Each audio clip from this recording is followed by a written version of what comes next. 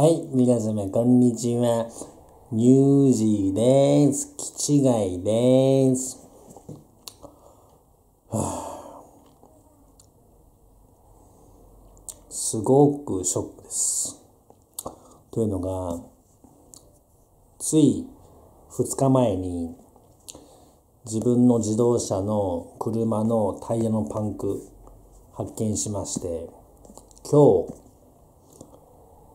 整備工場にそのタイヤ見てもらいました。そしたら、タイヤがこうあるとするなら、こう、タイヤがありますよね、こう。そしたら、この道路との接地面ではなくて、この側面にね、タイヤのこの側面にね、穴が開いてますよと。で、その整備工場のね、担当の方がね、何々さん、これはね、おそらく、普段運転してる時にできる傷じゃありませんと。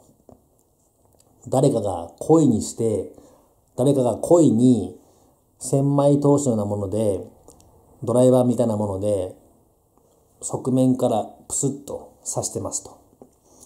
いうことが分かりまして、すごく怒ってます、私。うん。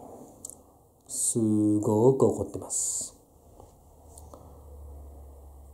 マジで切れそう。マジで恋するなんちゃらっていうのありますけど、マジで切れちゃうそうな約束の5秒前。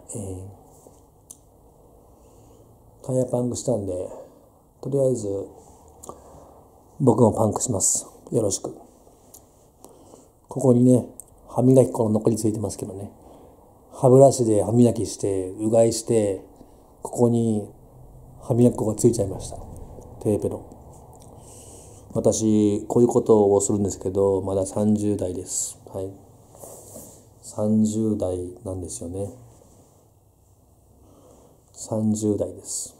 よろしく。